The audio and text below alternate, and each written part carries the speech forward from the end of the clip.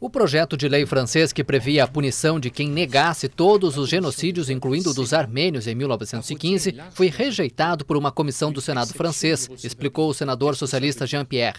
De acordo com o senador, a proposta punia com um ano de prisão e 45 mil euros de multa a negação de qualquer genocídio reconhecido pela lei francesa, como é o caso do genocídio armênio em 1915. Os armênios acusam o Império Otomano, na época, de ser o responsável pela morte de um milhão e meio de pessoas. A Turquia afirma que as mortes foram devido a combates. Ni a dire l'histoire. Consideramos esta legislação inconstitucional. Será que precisamos ir mais longe? Precisamos antecipar os diferentes tipos de sanções conectados à liberdade de expressão e de investigação? Não acreditamos que seja esse o caso.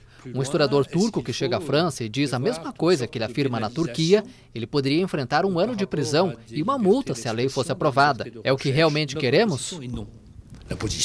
A Turquia não gostou do projeto, o que provocou tensão na relação com a França.